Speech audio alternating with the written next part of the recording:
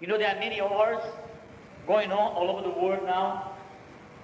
The U.S. is in war, you know, against the terrorists, and uh, we had some, you know, some actions going on there in Afghanistan, and there are some other things going on all over the country that we uh, even don't know. Some, there are some operations being prepared. There are uh, rumors of war, and uh, some people say uh, they don't say it well, but it seems that the U.S. is going to invade, somehow attack Iraq. So this is war. Many people are going to die. Millions and billions of dollars are being spent. And to fight these battles and these wars, they need material, they need physical weapons. And today we're talking about this battle that is a spiritual battle. It's a battle that happens within you, within your mind, within your heart. It's a battle that, uh, in most cases, only you know of what's going on. But it really happens in your heart, or within your heart. And the Word of God says, Galatians 5:16, live by the Spirit, and will not gratify the desires of the sinful nature. First thing I want to note with you today is that there's a command for me and for you that we should live by the Spirit. Or in other words, live being led, being controlled by the Spirit of God. And what is the Spirit of God? When Jesus was here and before he, he goes back to heaven, he said he was going to send his Holy Spirit. And the Holy Spirit will be with, with us always until we return. So, the Holy Spirit is here on earth today, is present here to help us. And the Bible says very clearly that if you know Jesus Christ, if you have committed your life to Jesus Christ, the Holy Spirit came to live within you. And now the command says, live by the Spirit. Be controlled by the Spirit. Let it flow in your life. Live by it. And I want to tell something.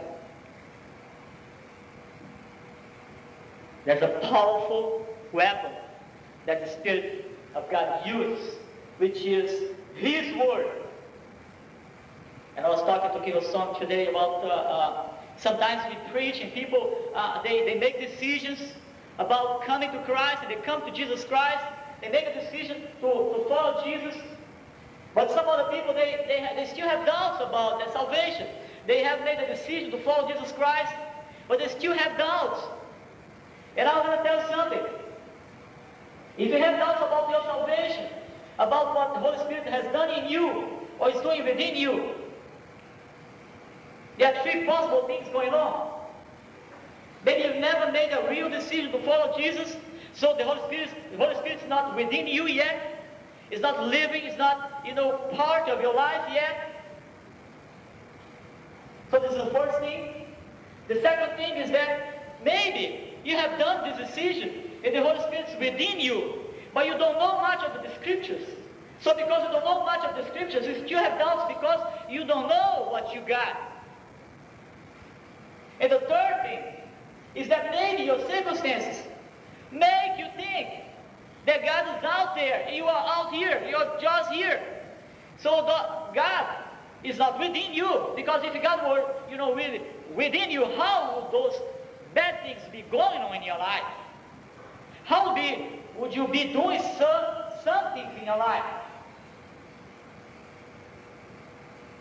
But the Word of God says that the Holy Spirit is within you. If you have made the decision to follow Jesus Christ, I want to let you know this, okay? That there's no reason for doubt because His Word doesn't change. And His Word says that if you make a decision, if you commit His life, your life to Himself, He's going to come and live within you forever and ever and ever. So if you still have doubts about your salvation, I want you to think about these three things. Okay? I want to be able to, to one day invite people to come to the altar here and ask people to raise hands saying, I, I don't want to see no hand here. Because the day that ha that happens, I'm going to know in my heart that you probably have made a decision to follow Jesus Christ. But if that happens, it's because maybe that has not happened yet. So it's happening now. And this is going on, and then the visitors are going to come here, and they're going to make a decision for Christ. But first thing, live by the Spirit. The Spirit of God is within you. Do you believe that? Do you believe that the Holy Spirit is within you? Do you? Do you believe that? If you believe that, say amen, please. All right. Within you. That's what he chose to do. To come and dwell and, and live within sinners like you and me.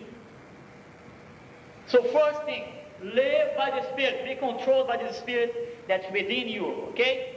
Second thing, I want you to see here in this text is there are two enemies within you.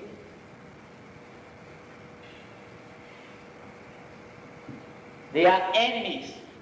There are two forces within you, and they are opposed to each other. And they are enemies to each other. For this, uh, live by the Spirit, and you will not gratify the desires desires of the sinful nature. For the sinful nature desires what's contrary to the spirit, and the spirit what's contrary to the sinful nature. They are in conflict with each other. They are enemies. So that you do not do what you want. And the enemy is this, is that uh, uh, they fight. Okay, and, and the flesh, your, your flesh, your sinful nature fights. Because in your mind, you want to please God, you want to obey God, you want to do God's things, obey His will, obey His word. But your, your nature, this nature that you inherit from Adam and Eve, compels you to do bad things.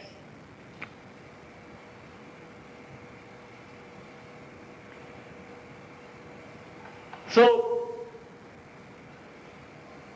two enemies. Two forces contrary to each other, and they battle for your soul. They battle for your soul. This is a much important battle. Even than any battle that's going on anywhere in the world now. You know why? Because this battle that's going on sometimes between me and you, it's going on all the time between, between you know, these two forces, they have, or this battle has eternal, value, eternal weight. Whatever happens in, within me is going to echo for eternity and eternity and eternity. Because my decisions now my decision now of being led by God, controlled by God, I'm going to somehow influence people for eternity. So any battle that's going all over the world now, it's a temporal battle. It's going to stay here when this war finishes. It's going to be all here. But things that we sow spiritually, they have eternal value.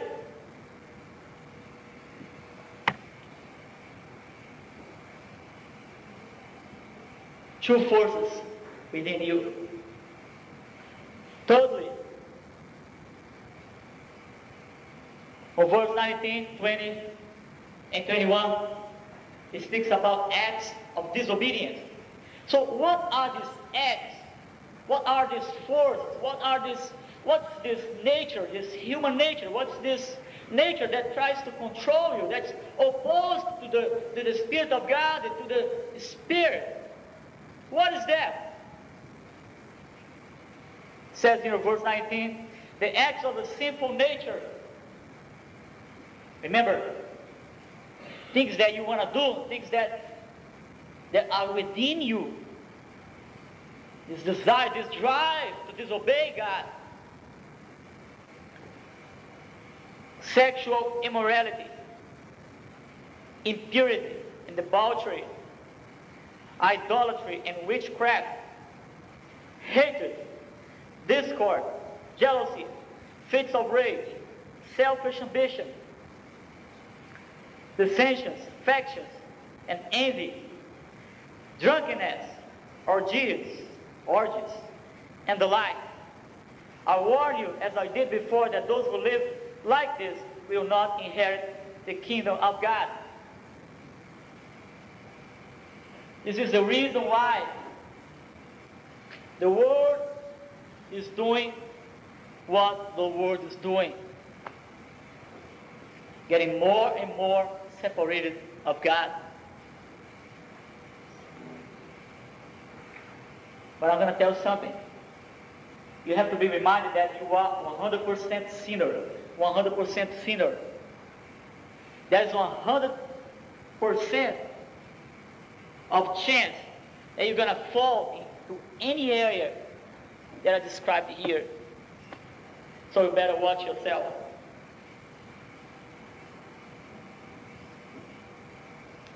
Temptations are there out there all the time. And sometimes they are so so disguised as blessing, as good things. The devil or adversary is very wise. Very wise. And he knows how to deceive you.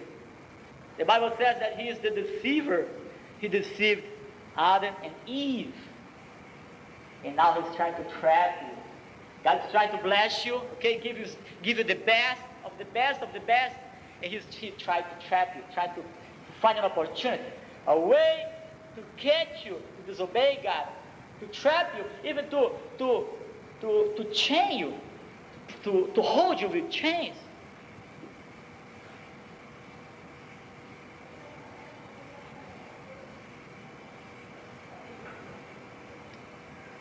Fourthly,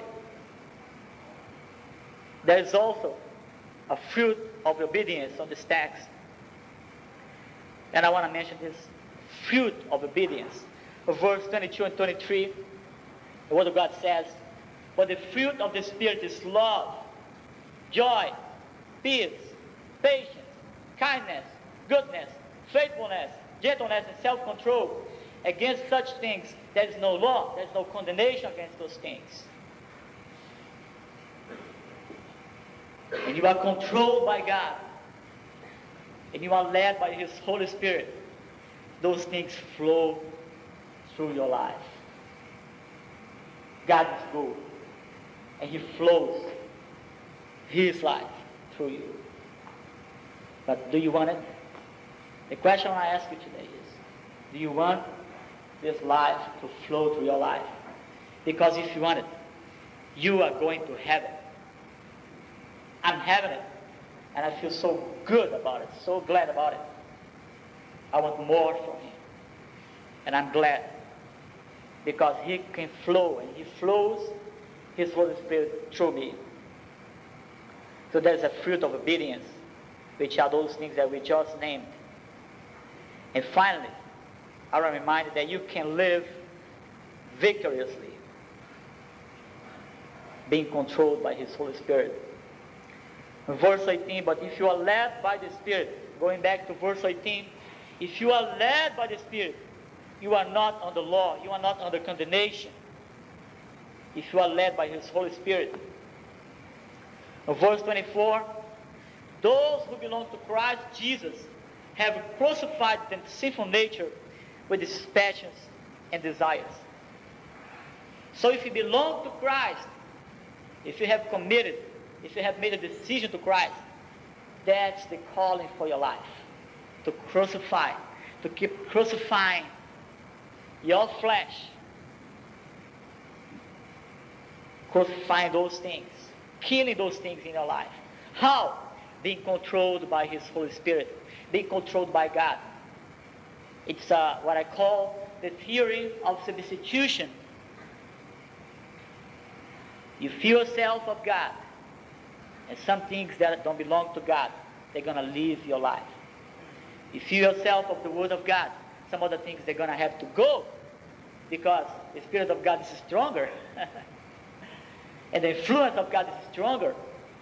So the more you feel yourself of God, you know, the more you're going to see other things coming out of your life. This is the work of the Holy Spirit to sanctify you, purify you, change you for better.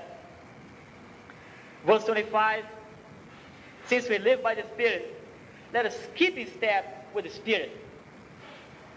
The Spirit is forward. Is looking at you and saying, go ahead, go forward, don't back off. Go ahead, keep going, keep going. No back off, no backing off. Keep going. That's my calling, that's what your calling. That's your calling for us today. We can live a spiritual life that's victor- victorious. It's going to make a difference for Jesus Christ. Well, I remind you too that many people have backed off, have given up. But we are not of those who want to be back off, are we? Are we? Are the, is this Korean church here of those who want to back off? I don't believe so. Are we? Are we? No, we are not. I'm glad when I look at you, I look at your faces, and I, I can see by faith, you know, that the powerful church that God is raising here. I praise God for your lives. Forward, forward. You can win this battle.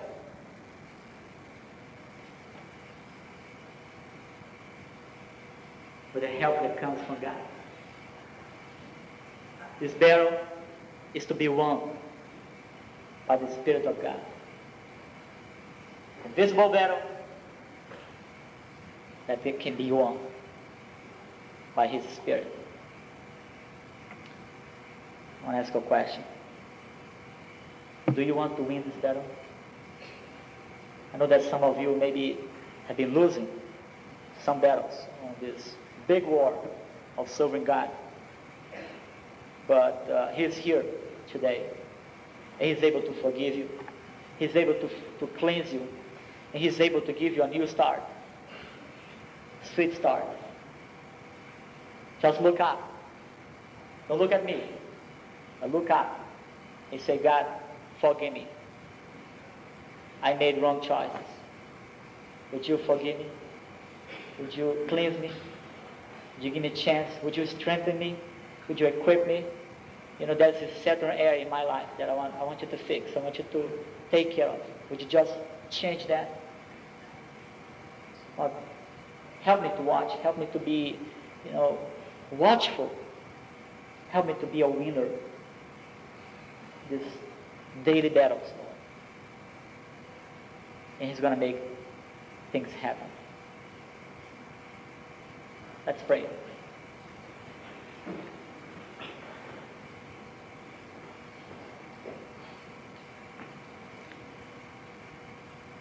Lord, we praise you for your word. And we praise you for the help that we, we have through your Holy Spirit, Lord. Thank you so much. Fill us with your love. Fill us with your goodness. Fill us with you, Lord.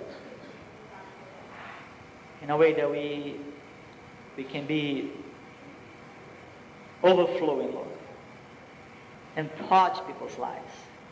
through our lives, Lord. I ask you to, to bless each and every one of us here, Lord. Fill us with your spirit today, Lord. In Jesus' name we pray.